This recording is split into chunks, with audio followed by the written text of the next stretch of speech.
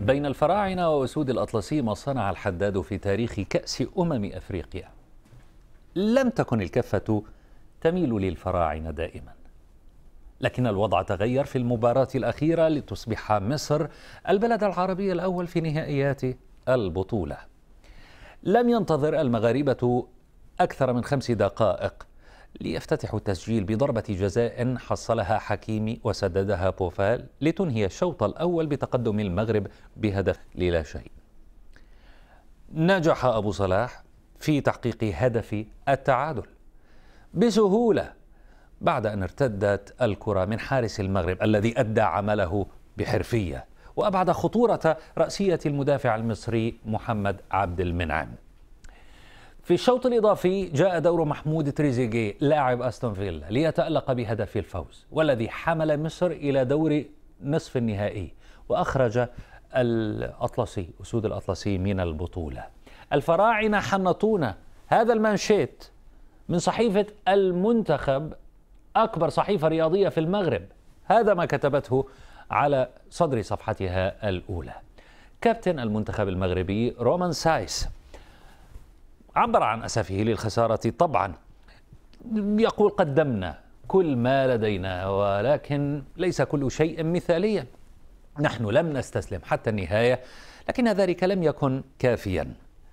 بالنسبة للمنتخب الأجواء كانت مختلفة بالنسبة للمنتخب المصري الفائز. نستمع إلى نجم فريق آه، مصر محمد صلاح يقول The players give everything today. The player give everything each game, and hopefully we we just carry on and winning.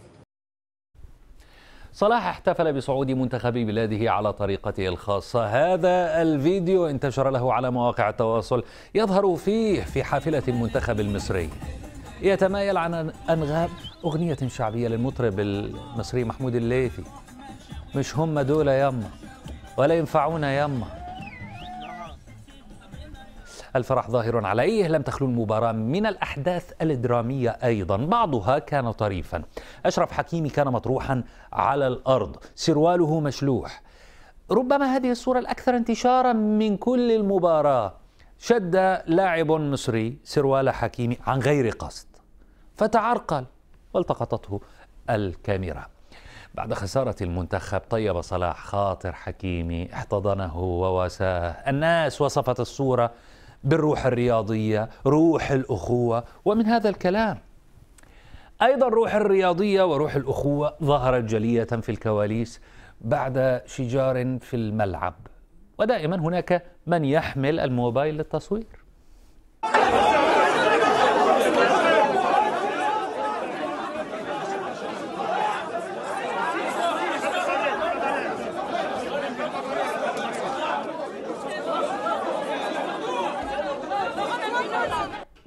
ما شاهدتموه كان مشاجرة في الكواليس بين لاعبي مصر والمغرب.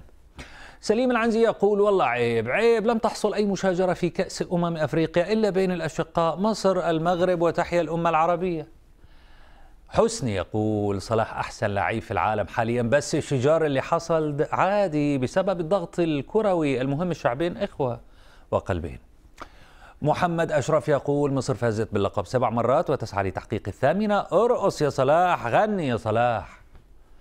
انتظروا مباراة مصر والكاميرون في نصف النهائي كأس أمم أفريقيا. لا أعلم متى. أنتم تعلمون. شكرا لمشاهدتك تريندينج سنسعد باشتراكك بالقناة وإعجابك بالقصة ومشاركتها وتعليقك عليها.